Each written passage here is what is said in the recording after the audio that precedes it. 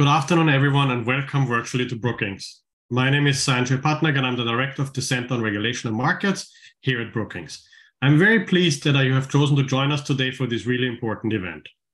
We are here to discuss artificial intelligence and upskilling, or the development of additional skills for employees and uh, talented uh, um, people to, to move up in the uh, career scale. And we are honored to have several high level experts with us today who are particularly well equipped to provide their insights on the topic. For our keynote address, we welcome Andrew Ng, founder of Deep Learning AI, co founder and chairman of Coursera, and general partner of AI Fund. Our moderators will be Alberto Rossi, professor and director of the AI Analytics and Future of Work Initiative at Georgetown University, and Lonnie Mahanta, non resident fellow in the Center on Regulation of Markets at Brookings. As our panelists, we are very happy to welcome Gad Levanon, Chief Economist at Burning Glass Institute, Morgan Frank, Assistant Professor at University of Pittsburgh, and David Estrada, Chief Legal and Policy Officer of Nuro Inc. At this point, I would also like to note that Nuro provides financial support to the Center on Regulation and Markets, which helps make the work we do possible.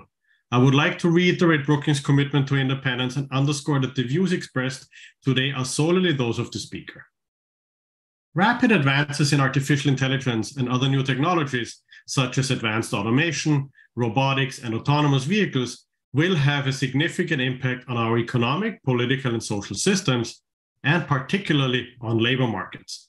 This raises important questions on whether and how new technology impacts the need for employees to gain additional skills or retrain to succeed in an economy of the future. An increasing number of companies are pursuing such upskilling or reskilling initiatives and highlighting the importance of advancing our knowledge in this policy and research. I very much look forward to the remarks by our speakers and the ensuing discussion today. And I'm now going to turn it over to our keynote speaker, Andrew. Thank you. Okay. Thank you, San. Thank you, Sanjay. Um, it's good to be here with all of you, see the huge impact that um, Brookings has, and uh, looking forward to speaking with all of you here today. Um, so there's been a lot of hype through AI about AI. What I hope to do is spend a bit of time today sharing with you what I think is actually happening with AI technology, where it's not yet working, where I think it will work in the future, um, and then hopefully together, you know, in, in Q&A or, or, the panel to follow and talk through some of the implications of this AI technology on the workforce and on upskilling. When I think about AI technology, um, I often think through two lenses. One is tools, and second is training or education. And let me start with saying a little bit more about tools. Um, I've been saying for several years, AI is the new electricity. Much like electricity about 100 years ago transformed the economy, AI is seems to be on the path to do the same. But despite all the excitement about AI, I think that in most industries, it is not widespread and is not widely used today yet. So I gave a TED talk recently that was just posted online a few days ago. You can find it online, where I spoke about um, the, my often buying a slice of Hawaiian pizza from a pizza joint, you know, kind of a, a, a 10 minutes drive, a few minutes drive from my house. And it turns out that that single owner, proprietor of a small pizza store, um, he does have data. He has actually decent amounts of sales data. And if he had access to AI, I'm pretty sure he could optimize the supply chain, have less, you know, cold pizza lying around. But frankly, um, other than large internet, consumer internet companies, especially, and other than leading tech companies, AI is not, from where I'm sitting, widely used. Um, and so, what is what? Why is that? And what what is the roadmap to get AI to be more widespread across society? Which will happen, but but but why aren't we there yet? I want to share with you what I think of as the two key barriers to AI adoption. Um, first is small data sets. So when I was working for a large consumer internet company, I once built a face recognition system using 350 images, pictures of faces. When I was um, speaking at a manufacturing conference, uh, some you know some a little bit back, I asked this manufacturing audience, how many images do you typically have of defects you want to detect? One of the teams works on um, helping manufacturers take pictures of things they're making, say a smartphone or whatever, and using that picture to decide if the smartphone is scratched. But when I asked this question of a manufacturing audience um, here in the United States, this was the answer, 50 or fewer images. And it turns out that technology, you know, that I and my friends had, had contributed in building for working with hundreds of millions of data points, it doesn't work. Um, for other industries. It turns out this is solvable, but there are a lot of industries where data set sizes are just much smaller. In healthcare, I've seen a lot of problems where you only have 100 images of a rare medical condition, and you just got to get make it work with 100 images, not 100 million images. Um, the second barrier to widespread AI adoption, again, this is a problem we will solve as a community, is the customization or the long tail problem. So if you take all current and potential AI projects and sort them in decreasing order of value, you get the distribution that looks like this with a long tail. Maybe the single most valuable AI system in the world is some online ad system. Maybe the second most valuable is some giant web search system. Maybe the third most valuable is some e-commerce online shopping product recommendation system. But um, so the AI world has figured out how to hire dozens or sometimes hundreds of engineers to build a giant monolithic AI system to serve a hundred million or a billion users, and the economics of that works out. But once you go to other industries, you rarely have 100 million users in one database. And so in manufacturing, for example, I would see a company making pharmaceutical pills and they need an AI system to inspect pills. Or different AI manufacturer may need to inspect sheets of steel. Different uh, manufacturer may need to inspect semiconductor wafers. And it turns out that because every factory makes something different, every factory needs the custom trained, custom AI system to do the thing that they need, which is different from everyone else. And so from where I'm sitting, I see the, let's call it 100 million or the billion dollar AI projects built well but I see also a lot of one to five million dollar AI projects um, that are sitting around because no one's yet figured out the economics of how they make them work. I think the way the AI, the, the way the AI world is moving to address this problem, and this has implications to the workforce and upskilling as well, is to build vertical platforms. And what I mean is vertical platforms that enable the end customer to build the custom AI system that they need. Because rather than say me going to you know every manufacturing plant um, and me trying to have my team build a custom AI system, if there become new generations of tools that let the IT personnel in different manufacturing plants build their own custom AI systems, then that would get a lot more of these AI systems built to serve all these use cases in the long tail. And this has you know clear implications as well for the skill set needed for all of the, say, IT personnel in all the manufacturing plants, um, as well as much more broadly, as, as, as you see in a second. And it turns out the key technology to make this possible, you know, maybe we've been told building AI is hard, you know, you need an advanced degree or whatever, which, which is actually not true. But um, but it turns out that the key technology for enabling a much larger fraction of our workforce to have the skills to build and participate in not just using AI systems, but building custom AI systems um, is, is technology to let them engineer the data rather than the code. I'll come back to this in a second. This technology called data-centric AI development. But just to cast the net a little bit wider than just um, inspection, um, if we were to look at a, a hypothetical t-shirt maker, you know, what can a small t-shirt maker do using AI? Um, demand forecasting, right? Look at sales data, look at demand data, social media tweets, figure out what's what, what is likely demand for different t-shirt designs, uh, product placements. Um, how do you merchandise? How do you decide where to place the products? To supply chain, manage the complexity of supply chains. So you place the right orders, get the right cloth, get the right products, um, and then also quality control. Uh, if you're making a t-shirt, how do you know if the t-shirt cloth is in high quality or does this cloth have a tear or discoloration in it? So what I see is that um, all businesses from the very large companies, like the giant internet companies, all the way down to a sole proprietor pizzeria, to a mid-sized t-shirt maker with maybe hundreds of employees. All of these companies have many, many possible use cases for AI. Um, but because the bulk of AI projects or just a large number of AI projects are in the tail, are many of these one to five million dollar projects that, that frankly no one is working on. And we need the workforce with the tools as well as the training, um, either or, or both, um, in order to, to create this value. So until now, for the most part, building an AI system means writing pages of pages of codes. And um, I've been you know, encouraged by the rise in coding literacy uh, but the number of software engineers, the number of AI developers is far smaller than the number of people that I hope will rise to, the, rise to being able to do the work to build custom AI systems. When I think about the rise of AI, I often think about the rise of literacy in human society. Um, hundreds of years ago, many people in society thought that maybe not everyone needed to be literate. Not everyone needed to read and write. Perhaps we could all just go to the you know holy temple or the holy building and sit in the audience and listen to the monks or the high priests and priestesses read some holy book to us, and that was enough. Why do you need to read for yourself if you could just do that? But fortunately, we figured out that um, if almost everyone in society is literate and can read and write, we can build a much richer society. What I see in AI today is most of us are, you know, most people are leaving it to the high priests and priestesses in the large tech companies to write code for everyone else. Um, and if you can use code written by a large tech company, why do you need to build custom AI for yourself? But the problem with this is this is not rising to solve the huge number of applications in that long tail, which I think may create even more value for society.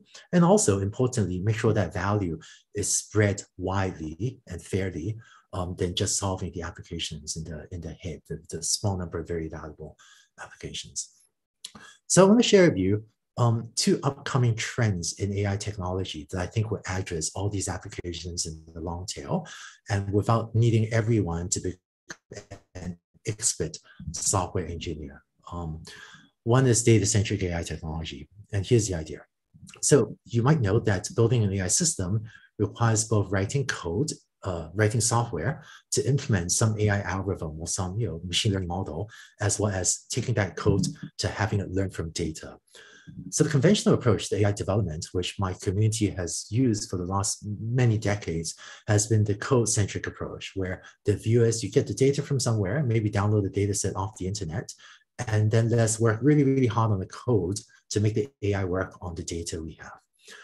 Because of this paradigm of development, it turns out that for the large majority, maybe vast majority of practical commercial applications of AI today, the code, the neural network model, the advanced deep learning technology is basically a solved problem, right? There are exceptions, but for most commercial applications you might think about, um, quality inspection or demand forecasting or product placement or um, uh, all, all, those applications, there's an open source piece of code on the internet, you know, open source neural network model on the internet that will work well enough.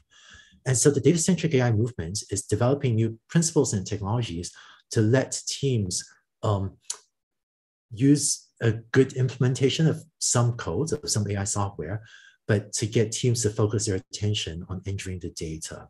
And I find this recipe promising because if you go to the um, IT personnel of a manufacturing plant and you ask them to write code to invent the next generation of a deep learning neural network technology, that's pretty challenging but if you ask them to express their domain knowledge about what they're making through creating and labeling data, that is a much easier way for them to succeed. So let me just show you a quick um, video of, a, of an example of this. This is software made by one of my teams, Landing AI, that illustrates a data-centric approach to AI, where if you're a t-shirt maker and you want to build a custom AI system to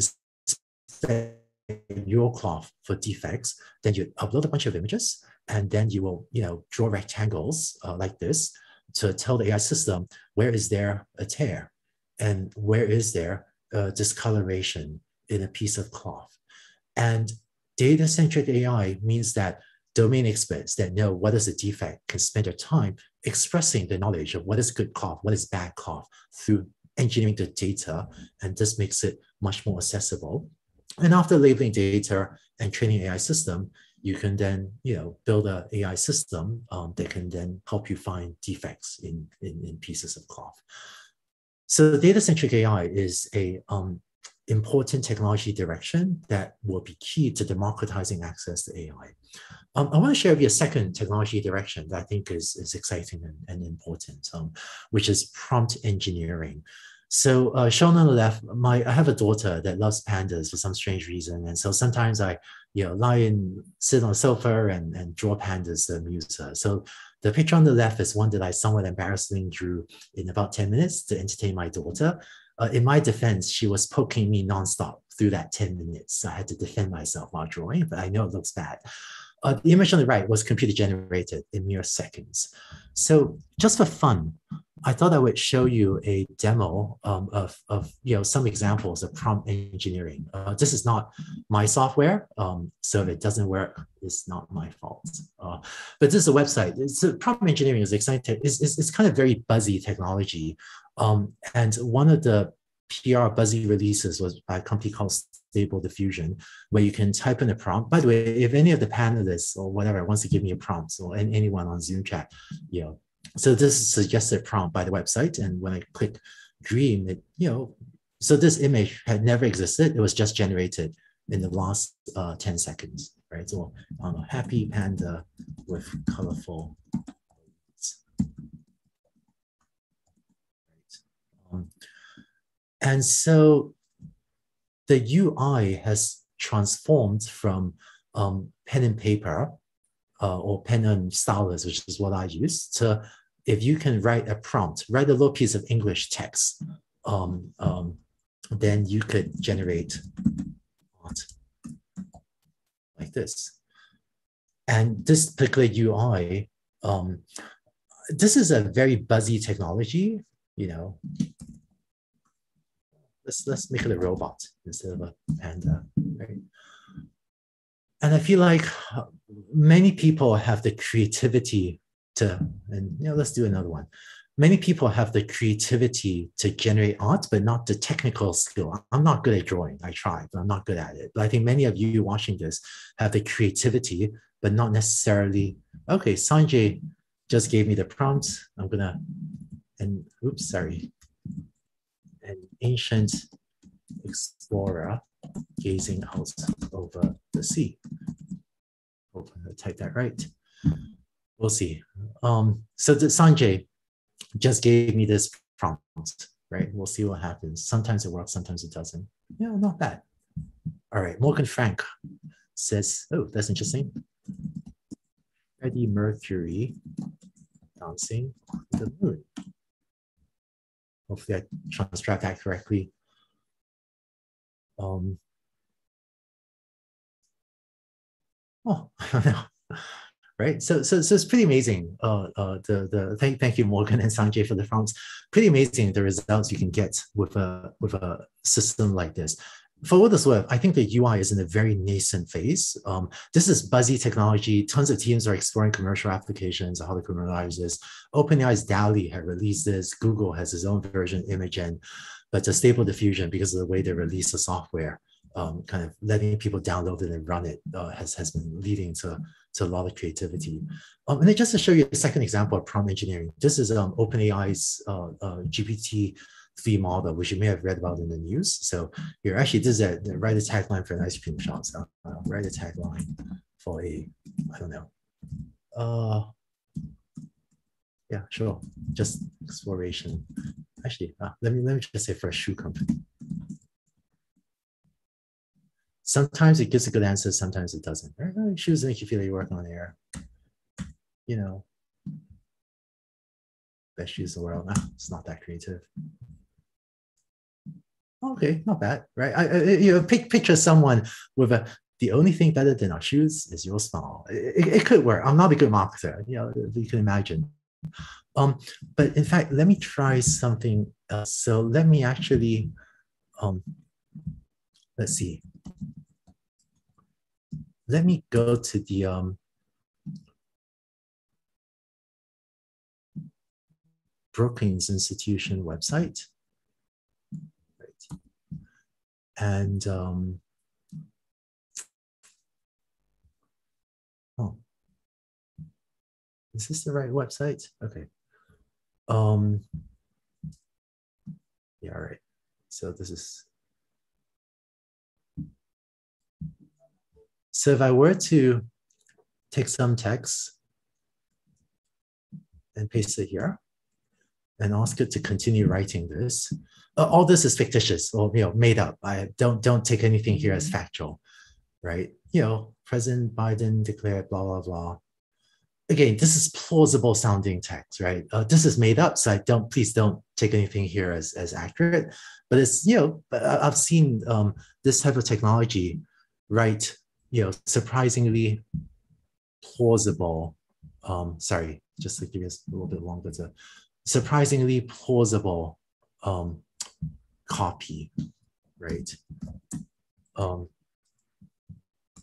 and so um, I feel like this type of UI or prompt engineering, it opens up accessibility of um, this type of, you know, I don't know if you call it creative writing or, or, or something else, opens up this type of uh, creative things to a lot more people. Um, so, so just to wrap up quickly, I was chatting with uh, uh, Daniel Rock from University of Pennsylvania, and, and uh, he you know made an interesting comment. The nice thing about tools is it is upskilling by default, right? With better tools, everyone is is upskilled by default. And just to relate this back to, so, so I think tools and training, tools is really important part of letting everyone in society do more powerful things. Um, and, and just my last slide on more conventional upskilling training, which I think is very important as well. What I see is that AI is raising the bar for everyone. The world we live in is highly digital. Our activities generate digital data as an exhaust. And so new AI capabilities means that no matter what industry, what sector you work in, you probably have data and teams are able to use that data will be more competitive than teams are not, that, that, that are not. Data-centric AI, maybe tools like prompt engineering will enable a lot more people to do that. But this basic new capability is pushing everyone to, you know, giving everyone the opportunity as well to do more. Um, from Coursera's data, this is from Coursera's uh, uh, impact report, 92% of Coursera's business learners report a positive career outcome from uh, uh, after completing an online course. And so I find that upskilling, it does work. Um, but the flip side is upskilling is still very challenging for many managers, right? So, so this is a uh, Coursera user research data. I don't think we've ever, don't think Coursera released this publicly, but maybe not surprisingly, you know, when when someone has their annual performance conversation with their manager, only I would say 23%, 24% really set them on a clear path on how to develop. Maybe over 50% have some path, but this is a very challenging activity, even though, you know, our data shows that when you invest in it and you do it, that it does benefit the individual uh, uh significantly. And, and usually I think it benefits the organizations as well. Um, but I think a lot of the demand for upskilling is also driven by the new capabilities. Um, so, so I think that uh, figuring out the right paths of society and the right policies and the right way to approach this, you're excited to engage in that discussion with all of you. Thank you. Thank you, Andrew, for the fantastic uh, presentation. I hope you can hear me well. Uh, if you don't, please let me know. But um, yeah, I think that uh, you you ended up exactly where I wanted to pick it up from. Uh, this, which is kind of the implementation of upskilling within firms. So, what are the different forms of upskilling that firms engage in? So, are they mainly outsourced through outside vendors? And perform online or through university, or are they performed internally by the companies themselves? Yeah, you know, so I think directionally in the last decade, um, my sense is more and more of it has been outsourced, and and for the reason of um, the internet. So you know, 30 years ago, companies used to write their own HR software because before the internet, you couldn't get access to really good HR software or really good whatever software, really good email software. So firms were managing their own email systems in house. Because of the internet, we now can get good access to a lot of the best tools anywhere in the world. And also, um, the rapid pace of upskilling means that there's a lot of knowledge that firms are partnering, you know, with, with a university or with a company like Coursera or DeepLearning.ai, right? Com- full disclosure, companies I'm affiliated with, um, in order to drive that upskilling. And I see a lot of efficiency in bringing outside knowledge in. And, and of course, there is often some amount of in-house knowledge uh, uh, that is, you know, specific to the firm.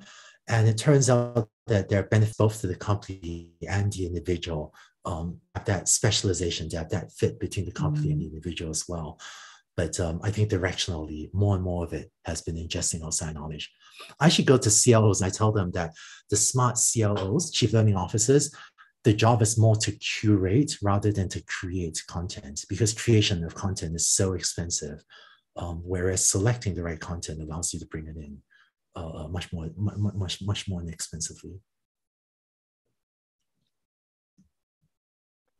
Perfect. And, when you collaborate with companies,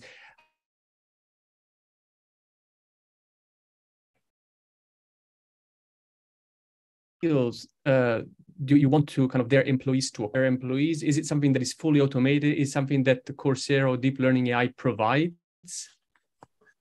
Oh boy. Um, so I think that uh, uh, online companies, online edtech companies like Coursera has a very large content library, but I find that most corporations will want to look at the content library and customize it for their needs. Um, so I see, for example, a lot of companies um, feel like they want to improve data literacy across the entire organization, not just engineering.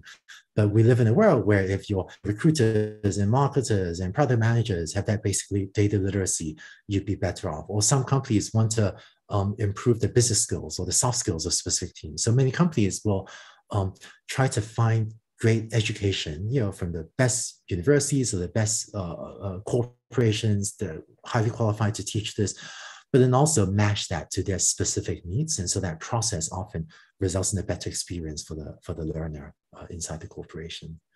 Um, hope that hope that makes sense.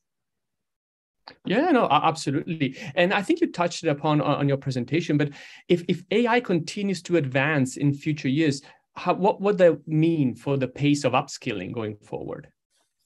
Yeah, you know, I feel like people sometimes have a dystopian um, picture of AI driven global technological unemployment. Um, I certainly don't see that. Uh, I, I, feel like we often this, this, don't always remember that new technologies historically has typically created you know as many or often even more jobs than than it affected. Um, so I'm seeing that to be true for uh, AI as well. AI is transforming many jobs, but so long as the corporations and individuals are willing to invest in their people, uh, hire and invest in hire new skills in and invest in their people, seems to be plenty of work for everyone. Um, U.S. unemployment rate is now what is it, three point seven percent or something? Uh, so hardly any of us. Many corporations are struggling to find qualified individuals um, uh, to fill the open positions. But then there is, but as we all know, there is a huge gap, right, between the skills that the workforce has and the ideal set of skills that we wish the entire workforce had. So the only solution to that, I think, is to provide upskilling and training. You know, one of the inefficiencies that I think is quite tragic for education is that um, it has some short-term ROI. You know, the Coursera data shows, right? Six months, often you see a benefit for the individual's career. So there is some short-term ROI, but a lot of the ROI of upskilling training is, is long term. And, and I mean high quality training. We know that we, we, we know about the college debt problem and you pay for an expensive degree that doesn't give you meaningful skills. That's a huge problem that we need to solve as society. But good education has a, you know, some short-term ROI and a profound long-term ROI.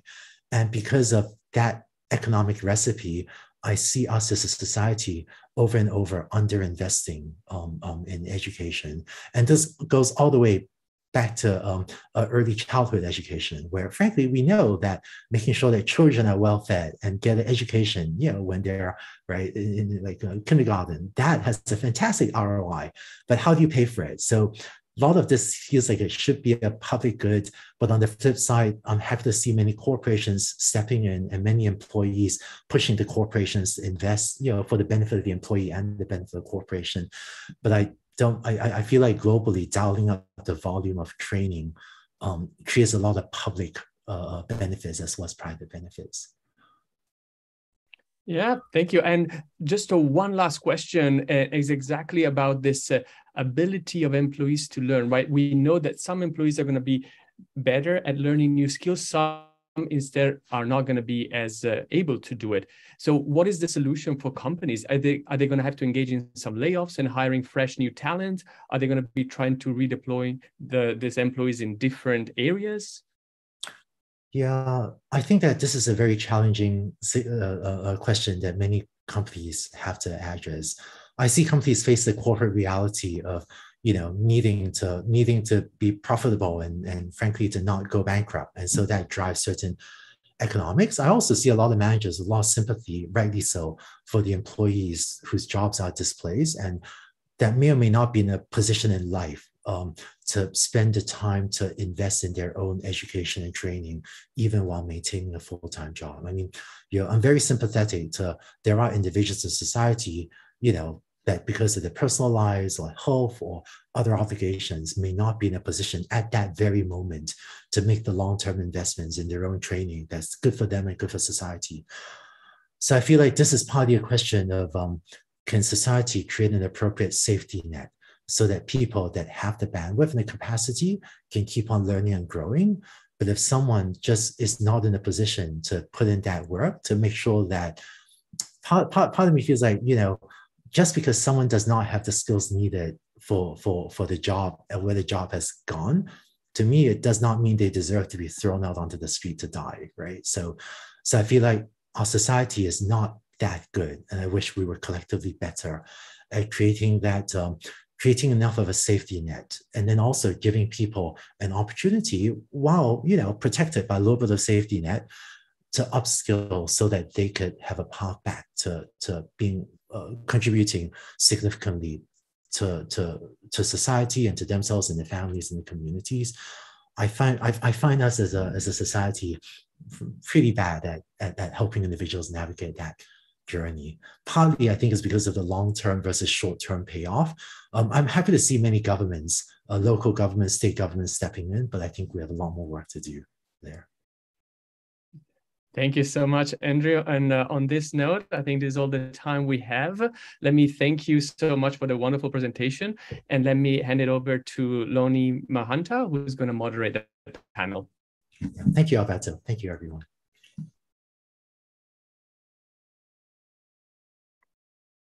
All right, everybody. I'm um, looking forward to our conversation here. Um, I'd like to start us off by hearing just some top line perspectives from uh, from each of you, Gad, Morgan, and David, around you know what what are your thoughts, high level, around AI and upskilling, and then we can take it uh, take it from there.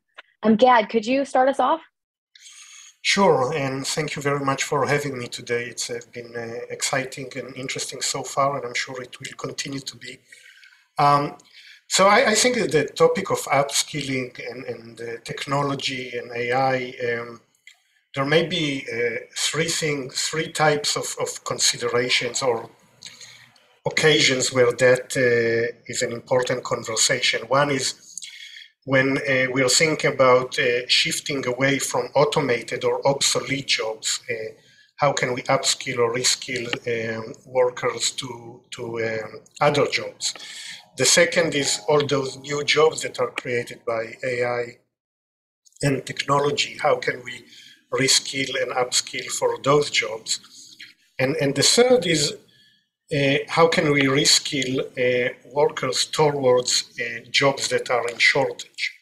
And I think uh, nowadays, in the certainly in the past year, but even before the pandemic, probably the third one is the most important because we are having uh, probably the most severe labor shortage in uh, US history. Um, it's not just because of the pandemic, it's all kind of uh, long run trends in demographics and uh, education and labor force participation. So we are now, and probably for the foreseeable future, we are in a massive uh, shortage.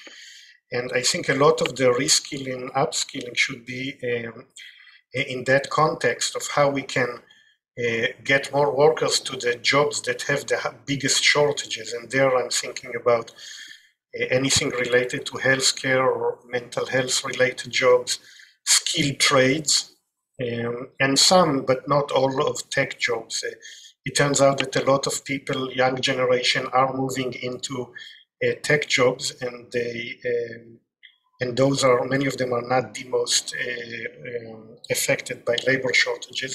Mm. Uh, so I think moving um, more workers into jobs that are in large shortages is an important uh, goal for our economy. Thank you, Morgan. You have some share some of your thoughts. Sure. Uh, so I'm really interested in how technology uh, really impacts labor demands in the labor force in the US by really small microscopic changes to what types of worker abilities and skills are in demand in the workplace.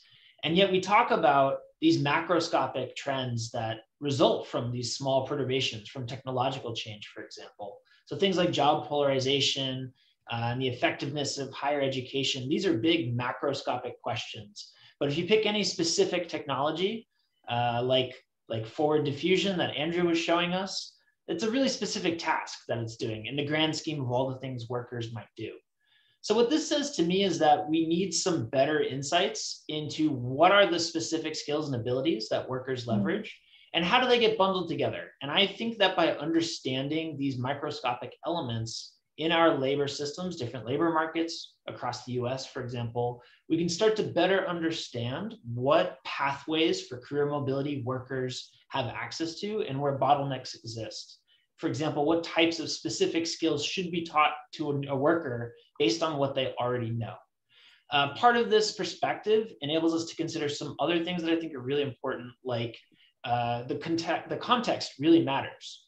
So you could imagine that being very strong in computer programming creates a different type of career mobility if you're in Silicon Valley compared to if you're located in a rural community. Another example that doesn't have to do with tech, you could imagine that fossil fuel workers in Texas face a very different future than fossil fuel workers in Western Pennsylvania uh, because of policy considerations and push towards uh, just transition towards emerging green jobs.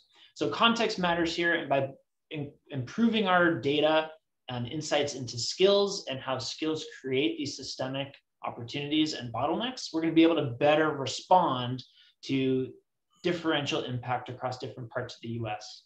The other thing that this perspective leverages that I'm really interested in is we have all this information now about employment and skills and how those elements interact across different parts of the labor market or different cities and so on. But we don't have similar data for key parts of workforce development.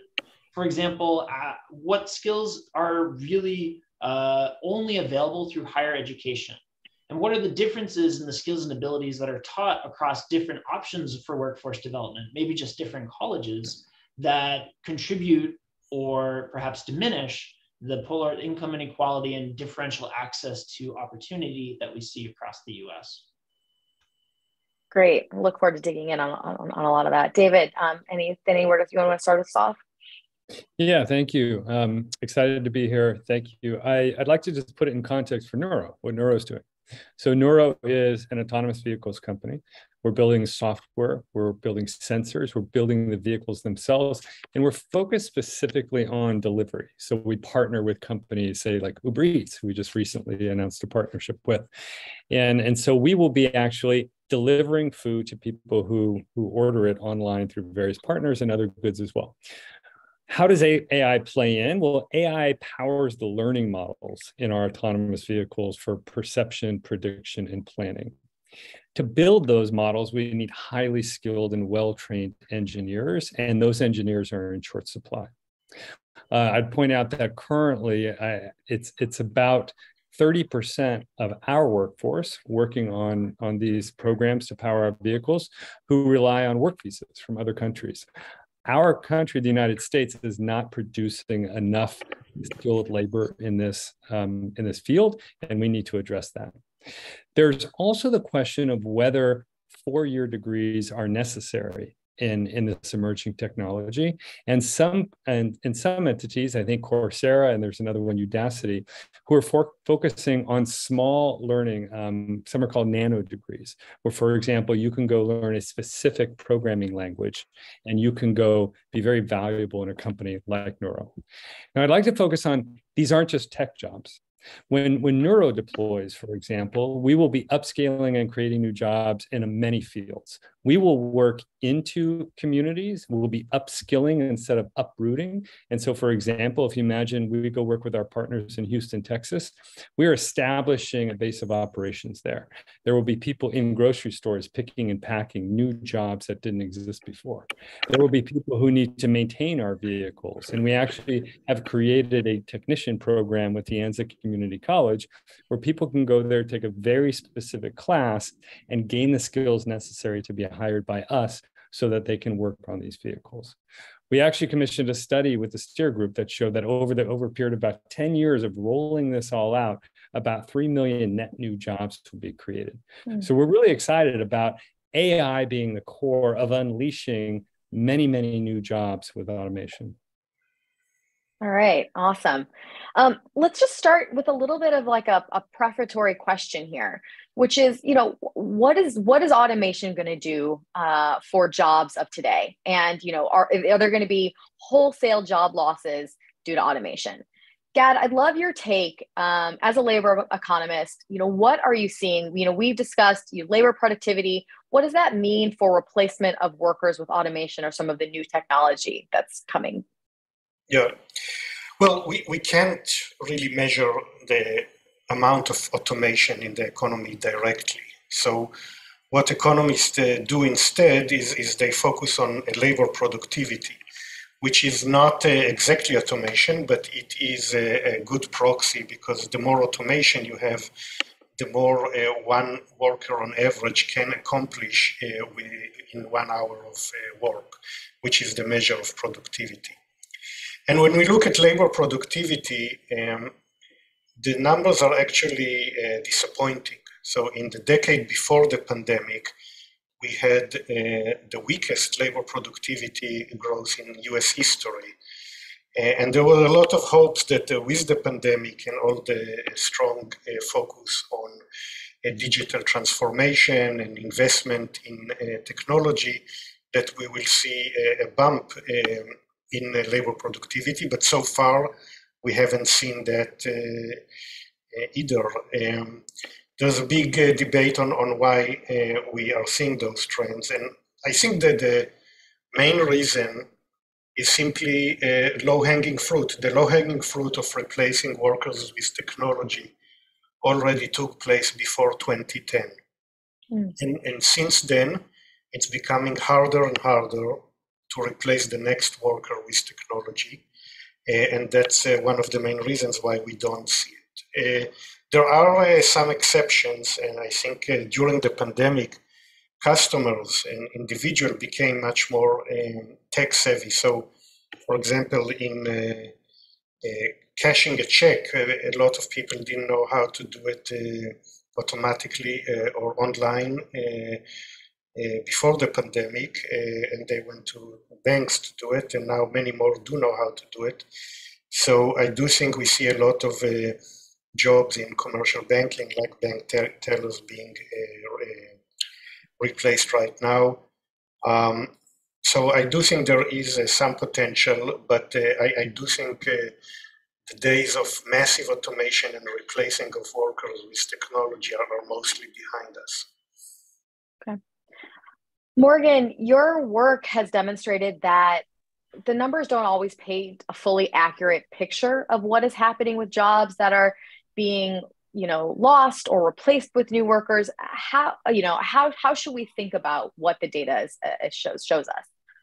Yeah this is a great question. Um, so i think that like gad's comments about well we have productivity is kind of one measure for what automation is doing it gives us really just one perspective and maybe a perspective that's more important for the firm and maybe less focused on what the workers are experiencing.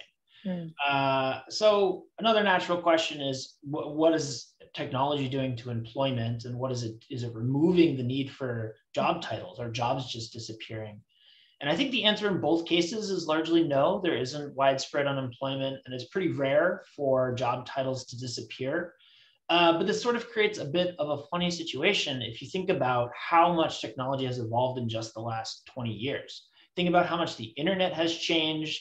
We have machine learning doing things that felt impossible 10 years ago. Like look at the stable diffusion example and the GPT-3 example that Andrew was showing us. These are like magic. Uh, so it seems sort of paradoxical that occupations don't disappear and yet so much changes. So I think most of what's going on is that technology is changing the demand for really specific capabilities and skills, and that what it means to have a certain job title adapts accordingly.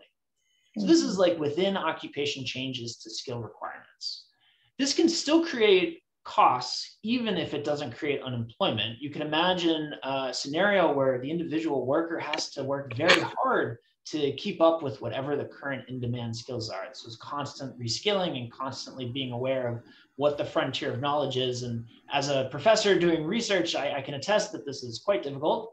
Um, but this can create a lot of other costly things beyond just skills. You can imagine, for example, that a worker is unable to reskill, they lose their job or they quit their job, uh, and they're hired by a new employee who is able to complement technology. This type of dynamic seems perfectly plausible. It would produce job separations, uh, but you could imagine it increases, decreases, or has no actual effect on the aggregate employment or unemployment by occupation. So I think what we really need to get at this question of what will the real world effects of new technology be kind of requires some more nuanced data that tells us more mm-hmm. insights into how skills map to the capabilities of technology and also more information about how those skills and abilities and those technologies uh, differential are, are, sort of spread out different differently across different labor markets across different occupations and if possible even across different firms that that employ uh, workers with similar job titles. You can imagine that every company employs secretaries, but maybe what secretaries are doing varies pretty significantly from industry to industry or even firm to firm. David, I think you touched on this a little bit, but you know, I think that there might be um, a picture that um, autonomous vehicles are going to take away jobs from human drivers. Uh, how does Nuro see that uh, perspective? Well, what we see, what we see out there already is that there's surging demand at a time of, of a shrinking or a labor force that isn't growing fast enough. So, for example, if, you go and you um, if you want to take an Uber or a Lyft today, you see that the prices are going up. In some cases, very significantly, along with inflation in most of the country. In many places, these are being unaffordable rides part of what's driving that is there simply are not enough drivers. There's a huge truck driver shortage as well. There's also a huge okay. shortage of pilots for airplanes. So we don't have enough people to move around all these vehicles at a time when there's going to be incredibly increasing demand for delivery. And so we see this issue and, and think about it in uh, the context, for instance, of ATMs. ATMs was one of the very first forms of automation that we all came into contact with. Instead of walking into a bank, you were able to use an ATM and, and go grab your cash and not go into a bank. A lot of people were worried at the time that this would kill jobs for tellers. What it actually did is it caused ba- banks to dramatically expand the number of, of small branches that they had throughout the country, and especially in underserved areas. And in those underserved areas, there were some teller jobs. Now, overall, the total number of teller jobs has increased since then, it hasn't mm. decreased. Mm. So, similarly, in our field, we're going to see that there's a lot more delivery happening. There's a lot more paid rides happening. And there will be a mix of both rides and deliveries happening with human drivers and those happening with automated drivers. Hmm. Okay. You know, we got a lot of great questions from the audience. I'll ask some at the end, but I also, there's some that were a lot of thematic questions. So I'll kind of intersperse them a little bit as we're talking here. But one of the questions that came up a lot was, you know, what are the areas or industries that um, this uh, panel thinks might be most likely to be impacted? I don't know if anyone has any thoughts on that. Yeah, sure. Um, I'm really excited for what's going to happen in medicine uh, in the next few years. Uh, it's a it's a data rich part of society that has been very safeguarded, and so as we come up with uh, ethical, safe, uh, secure ways to make that data available to the people who can apply engineer, uh, AI systems to it and engineer these these data driven systems I think we're going to see all kinds of new abilities popping out in the area of medicine. It's going to create opportunities to study, for example, these rare diseases where it might be hard for an individual to go out and locate a handful of people with the same condition. But when you have access to mm. wealth of data available and automated systems that can start to relate cases to one another, you just imagine that alone creates an opportunity to address fringe medical scenarios. So I'm very excited about uh, what medical technology will look like in the next 10 years. Okay. Um, okay, so we have you know some thoughts around some portion of jobs are going to be shifting, maybe not wholesale jobs. Jobs themselves might modify within the same job title. Um, but some portion of them are going to require engagement with new technology. So, a critical part of this conversation is around um, skills, skills development, and helping individuals kind of build um, into what those new jobs require. Um, so, Morgan, I'm actually going to turn it to you again. So, you some of your work looks at skills development. Uh, what have you seen regarding the ability of in individuals to learn new skills? Um, and you know, what are your thoughts around micro credentialing or how to think about the broader con context around um, skills development? Sure. So I think that uh, HR departments and uh, public stakeholders who are worried about upskilling and, and reskilling their population, I think we have a lot of room to grow on this front. I see a lot of retraining programs that, that feel kind of naive. They're things like, uh, let's pick a job where employment appears to be growing. Uh, maybe like there's a lot of demand for computer programmers. So we'll just teach people Python. You can learn that online for free nowadays. Uh, and they'll be able to land jobs, maybe entry level jobs in computer programming. But what our work shows is that this strategy probably won't work because it's not just computer programming you need, it's actually a bundle of skills that together create the skill set required to be an effective computer programmer. So, for example, you can imagine that uh, not just an ability to write for loops, but also some mathematical background would be required to be an effective programmer. And then never mind other social skills, things like being able to interact with a project team that's building this, this system, this software. Uh, so you really need to get beyond linking single occupations to one or two skills and understanding them holistically as a bundle mm-hmm. of skill and task requirements so that we can effectively start uh, upskilling people with bundles of skills and tasks that makes them effective in the new the new opportunity for anyone are, is there other types of skills in particular that are increasingly important um, these days? Gad do you have any thoughts there? Yeah i, I think in a lot of uh, business related jobs and i'm thinking about marketing sales uh, hr uh, there is a huge increase in the amount of data and uh, but the, in order to make good use of that data there is a need for people in those departments to, to know how to use it, to ask the right questions and know how to answer them. So I think one thing that we are already seeing is that uh, in many, uh, so we use uh, online job postings to kind of measure skills and trends, um, trends in skills. So we see uh, that uh, the demand for tech and data analysis skills in those kinds of jobs are, are growing very rapidly in recent years. Mm. I think another question, and I think this was brought up, um, you know, a little bit earlier, but how, how does this group think about college degrees? Are they still useful? Are they necessary? Is that changing over time? Um, Gad, we talked about this a little bit. What are your thoughts around are, if college degrees are as critical as they once were? Well, there is definitely a, a trend um, and when we see it again in job postings, that uh, the share of jobs that uh, job ads that require a BA um, is declining uh, in recent years. Um, also, other kinds of education, not just BA, but even also other post high school education uh, degrees and credentials are also uh, declining. I think some of it is because there is indeed a trend of employers. Um, trying to target not just BAs but also other people. I think in, in some cases it's also a result of the labor shortage. When you are desperate to get someone, uh, you are willing to compromise on the on the requirements. So I, I think we are uh, seeing um, a shift away a, a little from uh, college uh, degrees. Uh, we're also seeing uh, you know, wage growth in jobs that don't require BA um, has been much stronger than for jobs that do require a BA in recent years. So also from the workers' perspective, in many cases, they're saying, uh, is it really worth it or can I have a, a good enough career without getting a, a BA? So that also mm. con- contributes to the shift away from, uh, from BAs. Yeah.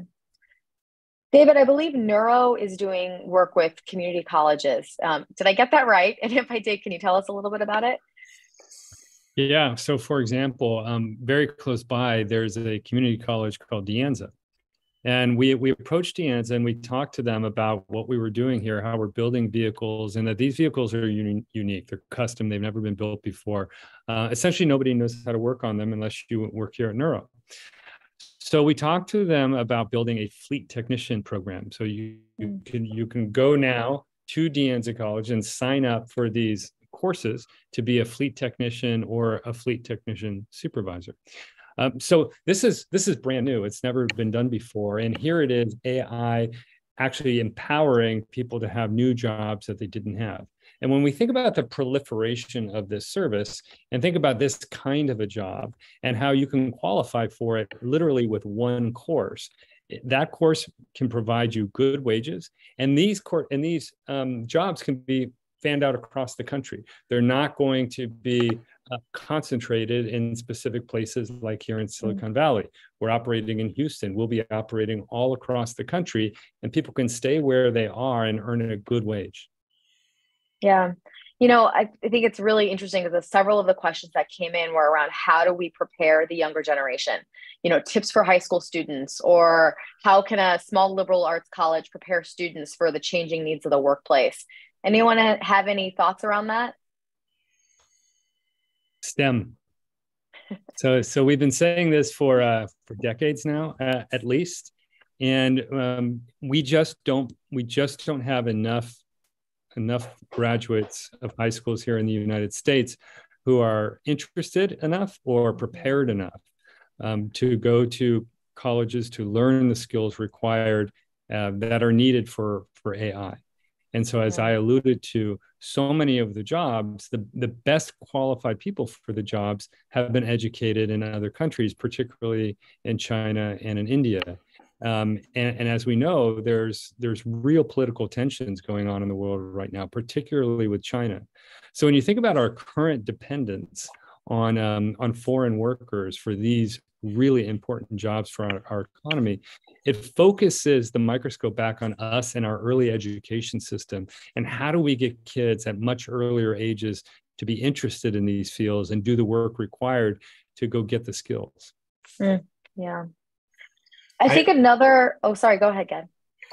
I, I would add. Um, um, yeah, I would definitely agree that STEM and any uh, data analysis related skill are uh, growing. The demand for them uh, is growing very rapidly. Uh, we are now in the midst of one of the biggest uh, tech booms and science booms ever, uh, and the demand for STEM workers is, is through the roof. So I would definitely agree with that. I, I think another um, the skill of uh, uh, um, resilience, resiliency. Mm. Uh, we kind of did some analysis when we compared between leading companies and other companies.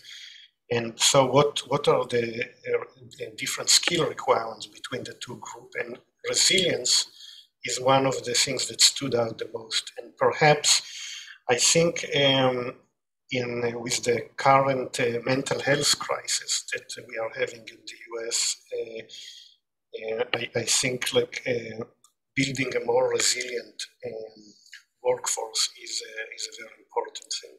Hmm. You know, another one of the ways in which the indicator of a college degree is used is sort of dif- differentiating the line between high skill and like low skill work.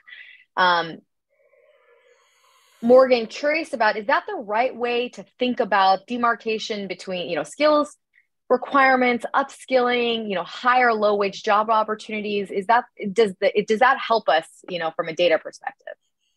Yeah, this is a really important question. Um, so a lot of the way that economists, uh, especially theoretical work, and what I see from management science and, and policy related to future of work issues, uh, they have this paradigm where you talk about workers abstractly as being high skill and cognitive or low skill and physical, uh, with the idea being that if you're cognitive, you're more adaptable and you'll be made more productive by technology. But if the work you're doing is physical and routine, then you're more likely to be replaced. Uh, but I think that this is great to a first order approximation, but we're missing out on a lot of information if all we're doing is talking about workers as being high skilled or low skilled. Uh, first of all, what, what, do you mean by high skilled? Am I a high skilled worker? How do you know? Uh, most people would say if you have a bachelor's degree, you, you're high skilled, but you, you, I think you'd agree that there's a lot of variation in what your employment prospects or wage prospects are, depending just on what you major in, uh, thinking about mm-hmm. just the population of people that do complete bachelor's degrees. So even just from that, we're missing out on a lot of information. I think that the reason we're missing out on this is because of the type of data that has been made available through federal sources, through places like the Department of Labor and the Bureau of Labor Statistics. We get really excellent cross sectional data on the economy, uh, but not so much insight into workforce development, and in particular into how college education uh, prepares you for different career trajectories. There's a lot of options that makes it recently possible to address this. So, for example, uh, I'm working with the Open Syllabus Project, which is a uh, an effort to collect all university syllabi from universities and departments offered all across the US. This is an ongoing effort, but they're making available a really large data set of what the learning objectives are across majors and universities, and even through the last couple years across the US. Uh, there are other companies, for example, Burning Glass Technologies, Future Fit AI, and Revelio Labs that are making available worker profiles, which include things like educational history and worker history, which gives us the ability to not just look at what happens to graduates immediately after they enter the workforce, which is data you can get from the US Department of Education, but also what happens to these people downstream. So, for example, what are the differences in your education that might make you adaptable or resilient later in your career? Or maybe give you access to different labor markets, uh, give you an ability to get a job in Silicon Valley compared to being that computer programmer in a rural community. We're just now getting access to data at the scale that would enable lots of research to actually learn about the dynamics at this important stage. We touch on this a little bit, but I'm just curious, you know, there's a lot of questions around how do we make sure that we are creating a workforce in the US to fill these future jobs? David, as from an employer perspective, it sounds like, you know, what you're seeing is we can't, uh, not yet, not enough. Um, what can we be doing? What can employers be doing to create the skills that they need for their own workforces?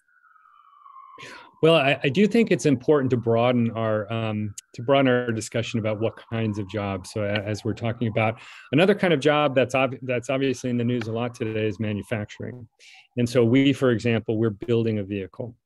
Now, there's been a lot of activity in, in, the legislature, and a bill recently signed, the Inflation Reduction Act here in the United States, puts a lot of money toward trying to get companies like ours to onshore their manufacturing, particularly of, of electric vehicles, we are a producer of an electric vehicle.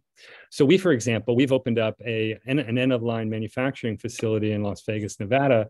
We're going to be putting tens of millions of dollars into building this and hiring hundreds of people to help um, end-of-line manufacture our vehicles. So that is something to consider in terms of what, what is the whole panoply of jobs that can grow out of um, AI centered industries like ours. It's not mm. all it's not all jobs creating the AI, but there are so many jobs that are created surrounding it. And we do, in fact, have the education to support many of those jobs. And we at facilities like ours can do the on the job training for those kinds of jobs.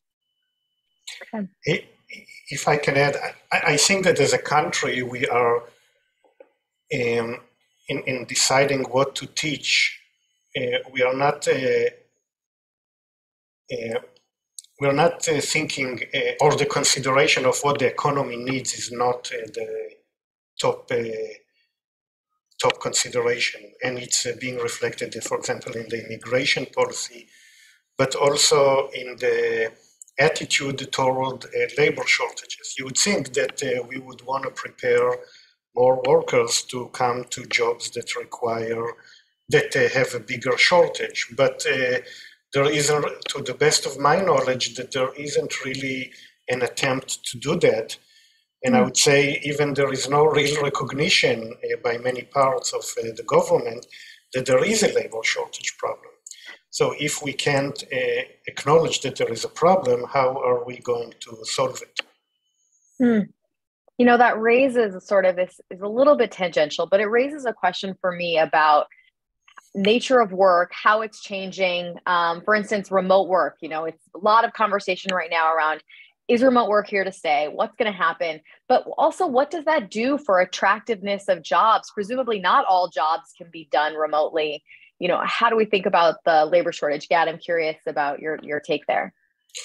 Yeah, I, I think um, you know a lot of you know if you're like let's say a nurse or a teacher and you're 40 years old, then uh, you're probably not going to change jobs because of the shift to remote work. But when you're now uh, at a, younger stage of your career and you're thinking where to, uh, what career should I choose, I think now uh, the consideration of whether you can work from home is becoming a really important one.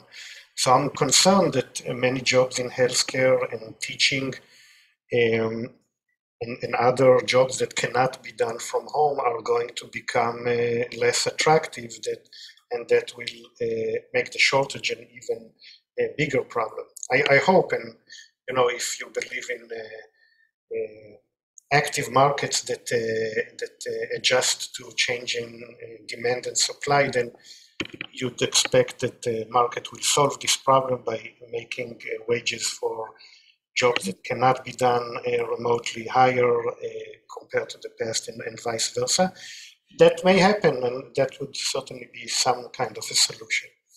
Hmm. Question, query whether it will happen quickly enough. Yeah. Uh, I think that's like one of the open questions. Uh, Morgan, have you has any of your work kind of focused on um, remote work and what we're seeing in the labor markets? Yeah, so uh, I think that this sudden shift to remote work has really highlighted uh, the need for ability to work with software and with these digital interfaces and to be an effective communicator over these different mediums. Uh, so this is not something that we're necessarily training for, but maybe something we would want to train for if this work from home trend does in fact continue moving forward. Um, you know, there's also a lot of other interesting implications for what a large scale, stable work from home transition would do to things like what types of opportunities are available in cities compared to in rural areas. Uh, you can imagine that the workers who do have these abilities are going to have a lot more mobility and a lot more options compared to the, their peers who aren't able to work effectively remotely or perhaps using these different digital media to achieve work. There are also some areas of work which have been well documented uh, that really require in-person interaction. Uh, there's a lot, uh, I would say there's a lot of interesting work trying to get at exactly why, but innovation and creative activities appear to really re- benefit from in-person interactivity. And it's not so clear that uh, remote teams or working from home uh, can produce the same amount of innovation and the same amount of creative work in, in those areas. Now, the, the COVID pandemic creates a really interesting opportunity to test these ideas because the pandemic is clearly exogenous to what type of work you're doing. Uh, and it created this shock, which maybe was enough to get people to adapt. But I would say that the, the academic literature on this, the prevailing thought is that these types of innovative and creative activities are not going to do so well in this new medium. I mean, it's something that I hear being discussed all the time within the tech companies that I sort of, you know, I'm engaging. Um, it also kind of raises this interesting question back to what you were saying earlier, Morgan, about the grouping of skills that actually make like a, you know, learning Python effective and how bundling that bundle of skills to really make something effective might be impacted by whether or not there's in-person engagement or not. I could imagine those things being connected.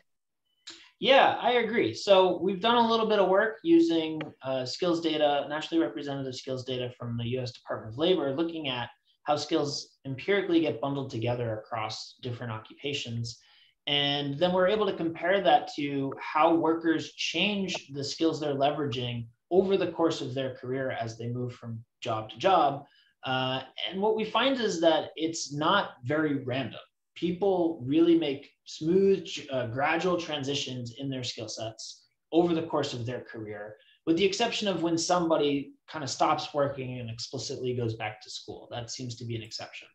So, what this dynamic suggests is that if you're working in a job right now, or maybe you were working in a job in 2019 that didn't require a lot of digital interaction. So, you weren't already using Slack, you weren't already using Zoom, uh, and you weren't already using email. Uh, maybe this sudden shift to now almost everything happens over Slack, Zoom, and email uh, it requires a bundle of skills that you weren't prepared for. Even if you had just one or two, probably everybody in the country has an email address, for example. Um, so that's our research is showing that again, this idea that it's just one or two skills to get you through these transitions, it's not enough. I think we need to do more to understand how skills get bundled together and then how to deliver these bundles of skills to workers through retraining and, and upskilling. Okay. I think I'm going to turn to some of the questions that I've come in. And so these are just going to be a little bit free for all. If anyone has a perspective, please, you know, weigh in. So one of the questions that came in was around job titles and resumes. And so given the dynamics of, you know, changing work, future of work, what are the role of conventional job titles and they can they be can job titles be transcended for effective upskilling? and i what i what i read into that question is like do the titles convey skills effectively and are they part of sort of um, might we rethink about titling to convey skill sets that's how i read that but you know mm-hmm. curious about anyone else's take here yeah that's how i interpreted it as well um, it, as, as somebody who actually looks at different data sets it's really interesting to see kind of how wild job postings data can be compared to the nice clean data you get from the Department of Labor, for example. So the, the abstraction with which uh, federal agencies think about occupations, it's really different from how people see themselves. So I think that in practice, if you're looking at job postings and, and people's resumes and looking at the job titles, you are getting more information about what their skills are because of the greater specificity in the job title. But even then, looking at if you ask people, what skills do you use on the job? There's a bit of a bias there as well. People will tend to list whatever is, is hot at the moment, whatever is hypey, right? Everybody's a AI engineer right now. And whatever the next big thing is in, in 20 years, everybody will say that they're good at that as well. So I think that, uh, yes, I agree with the idea that it'd be nice to have better insights into kind of the atomic elements of what workers can do, which are what are the tasks you can perform, what skills do you have. Uh, but we're going to need to reform the types of data we have if we want to do that. Yeah. I. Cha- no, just uh, kind of adding on this a little. Uh, I, I, think job titles are mostly uh, external looking, rather like when you work with someone, you don't need to know their job title. You know exactly what they're doing. It's more like uh, people outside the company who, uh, you know, you want in a few words to describe what is it that you're doing. So I, I, I think for that purpose, uh, I don't know if there will be a, I think job titles will still be uh, important. Maybe they'll turn out to be a little longer or hmm. maybe you will see more of them. But I, I think for that purpose, the communication purpose, I think we'll still need them. Hmm. And what about expertise? How do you preserve expertise while upskilling or reskilling workforces? Um, what are some ways that expertise is preserved or transformed between human expert and AI symptoms, systems? Excuse me.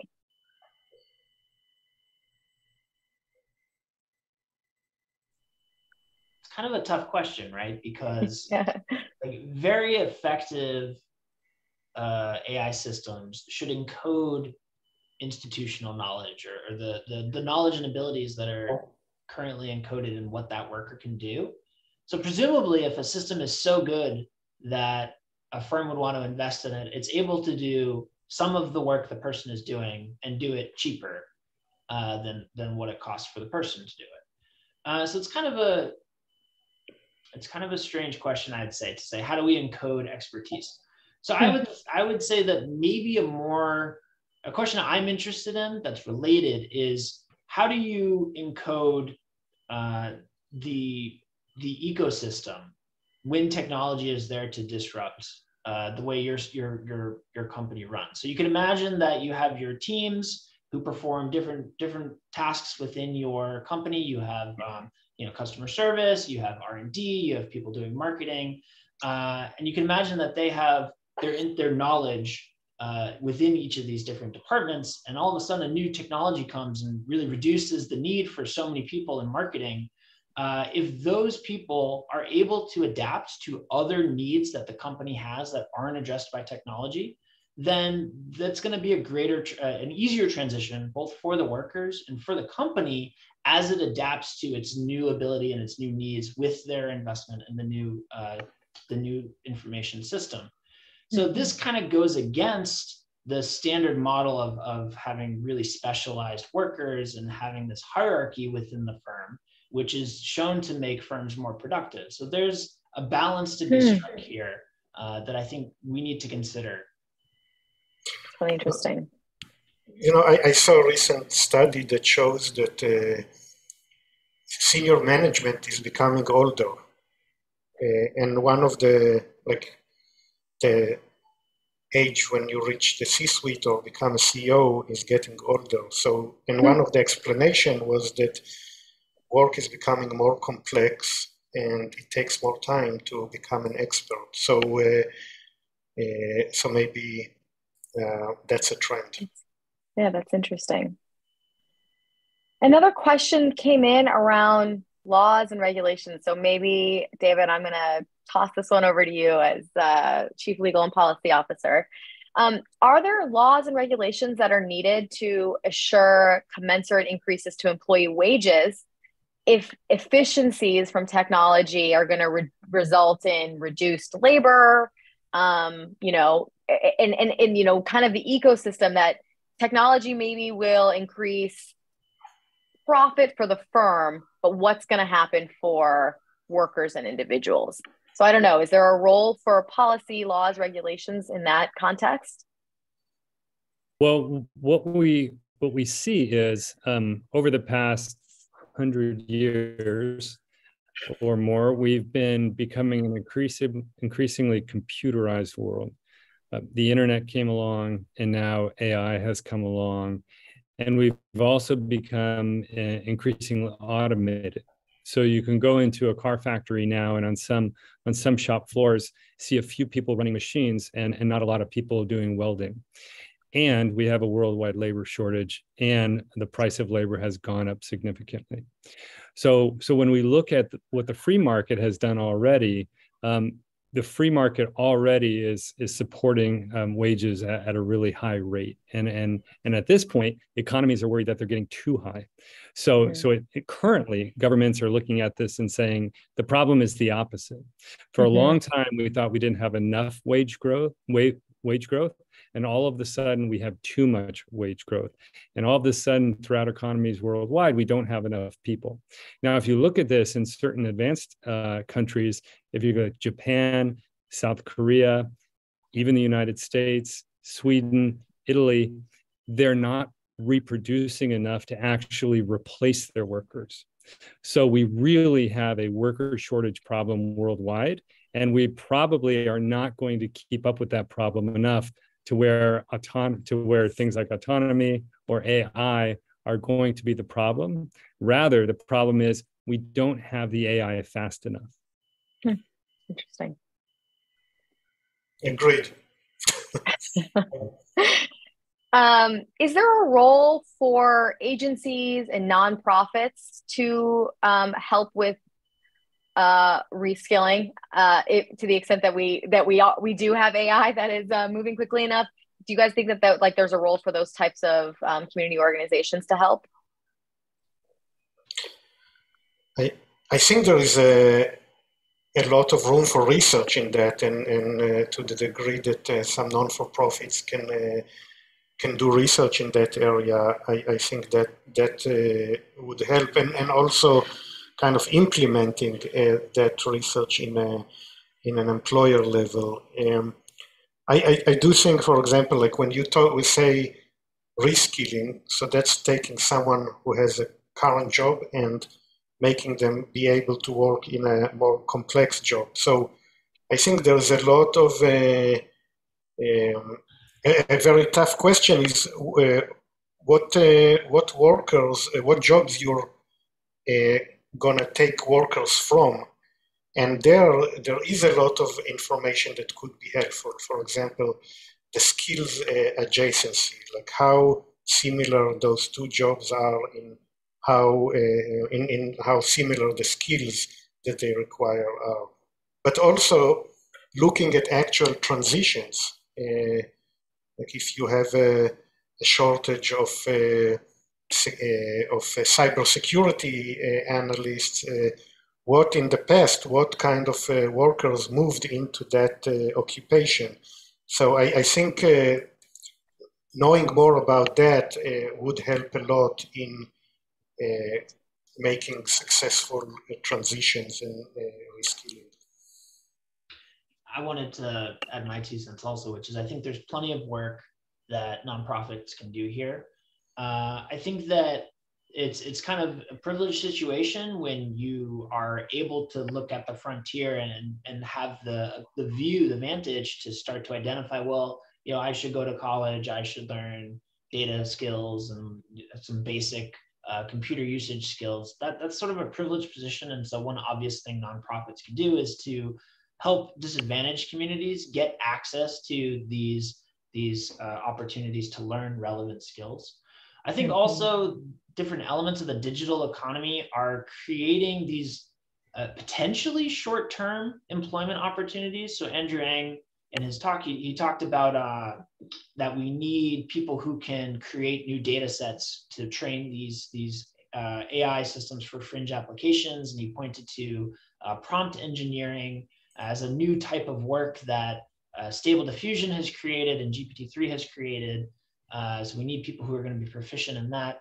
Uh, but and, and, so the benefit of these things is that they can be done by anyone anywhere in the world. They just basically need a computer and some internet, and they could be an effective worker for this type mm-hmm. of work. Uh, but I wonder how good these jobs really are. Are they interesting? Are they actually stable, or will we have mm-hmm. AI systems that for example, through the next generation of unsupervised learning, don't actually need this labeled data set. Um, and I can imagine prompt engineering being so generic that anyone on any Zoom call with the Brookings Institution can just be typing in prompts and start making these, these beautiful pictures. Uh, I wonder uh, how good of a job that will be since anyone really can do it. Um, mm-hmm. The other thing is it creates a disparate workforce. It's hard for a workforce, which is just people scattered all over the globe, to come together and to leverage their uh, collective interests against, say, the interests of the employer. And I think it's probably healthier for there to be a balance of, of power between employer and employees. And it's just very difficult when people aren't face to face. So mm-hmm. nonprofits have another opportunity to make sure that that disparate workers are able to come together uh, and have the means and mechanisms to achieve that. So maybe the most relevant example of this is there are some cities where Uber drivers have come together and started demanding certain uh, certain rights and, and and goods from Uber because of their their work there. But this is a rarity; it isn't the norm quite yet. It also raises another question. I mean, this question around data sets is um, is discrimination and bias that can be inherent in sort of the data sets that are being used. And that's one of some of the questions that were coming in were around how do we think about ethical considerations in a lot of the AI and autom- in automation that's happening. So one question might be like, how do we ensure that discrimination that is being that you know that is prevalent in everyday society isn't sort of being replicated um, in our AI systems. One of the qu- questions that comes up a lot is around um, stuff that's using for, for facial recognition technology. Um, but the you know a, bias that's inherent in the data sets is then being ported over into some of the automated technologies.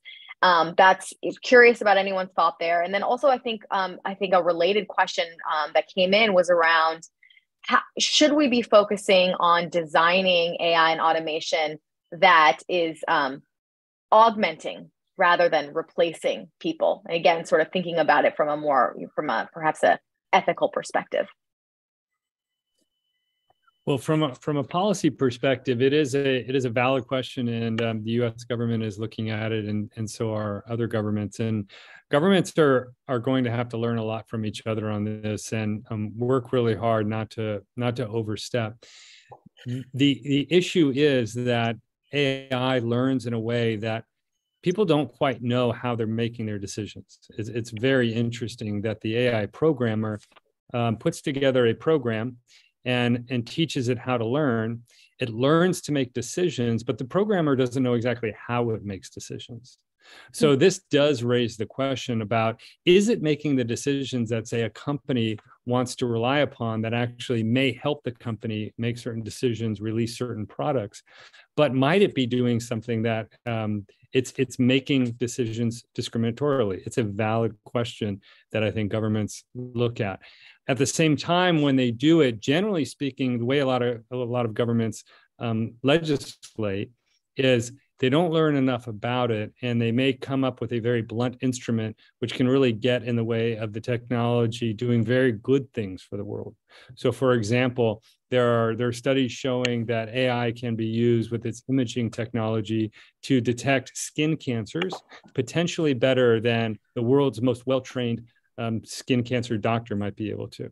Now, you wouldn't want to get in the way of these life-saving technologies by putting a really blunt legislative instrument in place.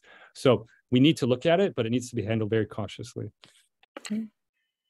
If I can add, I, I think uh, AI could also uh, add transparency. And one of the reasons why uh, it's hard to to reduce let's say, underrepresentativeness of women and minorities in high-paying jobs is because you don't know uh, how companies are doing in this regard uh, for the most part. But uh, using AI, uh, you can, I, I, think we are not far, and probably within a year or two, we will know uh, how much companies are hiring women and minorities in high-paying jobs using social profiles data um, that would uh, kind of remove the the mask and uh, and allow much more transparency that could then lead to a actual change in policies and companies trying to do better. Yeah, so I think this is a really topical question. Uh, I believe that just this week the White House announced new guidelines for for AI and data driven systems. So it seems that there's a lot to come on what the ethical infrastructure around AI will be in the US moving forward. Um, one of the things that they list, they don't really offer many solutions. They really point to problems in the in their uh, statement. But one of the things is that people should have the right to opt out. They should have the right to, where reasonable, uh, not be included in data, but also have a right to deal with a person instead of with an automated system. So that's a really interesting mm-hmm. uh, thing. And that we need safeguards for ethical AI decision making. Now, I think that if you start asking computer scientists about this question, they'll say, well, the examples we've seen are all examples of garbage in, garbage out. We're training systems on empirical data that reflects our society's biases so really, we're just seeing a reflection of ourselves.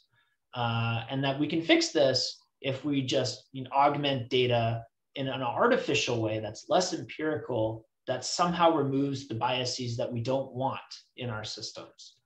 Uh, so you know, there's there's a lot of, strictly speaking, that is how machine supervised machine learning works.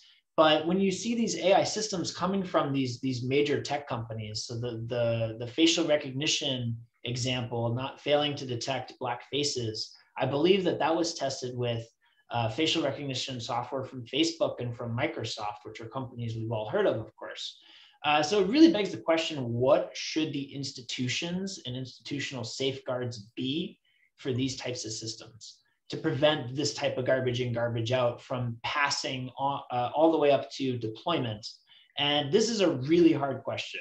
Basically, I think we need more research here you can imagine some type of really strange system where there's sort of a shared platform where companies are able to uh, upload the compiled code and run it against a suite of different scenarios uh, that somehow certify that all right yes this this software detects black faces it doesn't bias based on gender. It doesn't bias based on uh, health conditions uh, or maybe this software isn't applicable to this test it has nothing to do with uh, medical conditions or anything like that you can imagine creating a whole suite of scenarios but even just having such a system this double-sided market if you will uh, would be an incredible engineering uh, problem to solve in the first place. So I think there's a lot of barriers, both technically and then kind of institutionally, to creating the safeguards we need to meet these goals from the White House.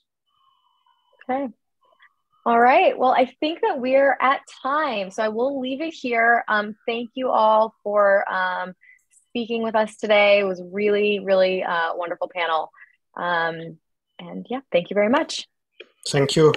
Thanks.